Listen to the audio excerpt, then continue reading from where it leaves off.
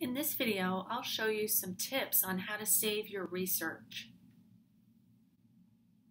When you're working on a research project, it's really helpful to collect all of the research that you find into one place so that you keep a running log of the articles, websites, books, etc. that you found for your research. So you'll see here that I'm using a Google Doc to collect my research, and I would suggest this for you as well. You might want to collect information such as a citation and a link to this article, as well as some notes as to why this was important for your research, and maybe some notes of things you wanted to remember to cite or include in your paper. So let me show you where you can find these pieces of information when you're using the library's databases. So once you've conducted a search and you've found some articles that you're interested in, click on the title and you'll find additional data about this article. There are two buttons on the right hand side that are really useful.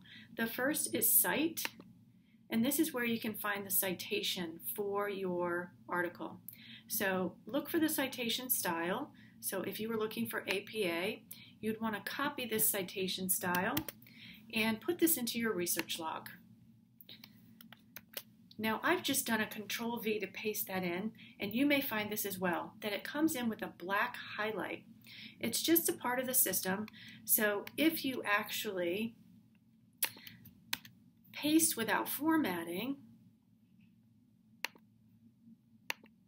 it will come in just fine. So if you have that problem, just paste special or paste without formatting and there'll be no problem. And it will actually take the text size and font that you've already chosen for your document. The second thing that we want to collect is we want to collect a way to get back to this article later. Don't copy the URL at the top here like you would a normal web page. This will not get you back to this article. What you want to do is on the right hand side, you want to click on permalink, and this is a permanent link back to this article.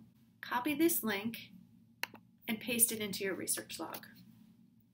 So now you've got two important pieces of information. You know what the article is, and you have the citation, and you've also got the link to go back and look at it later for the library's website.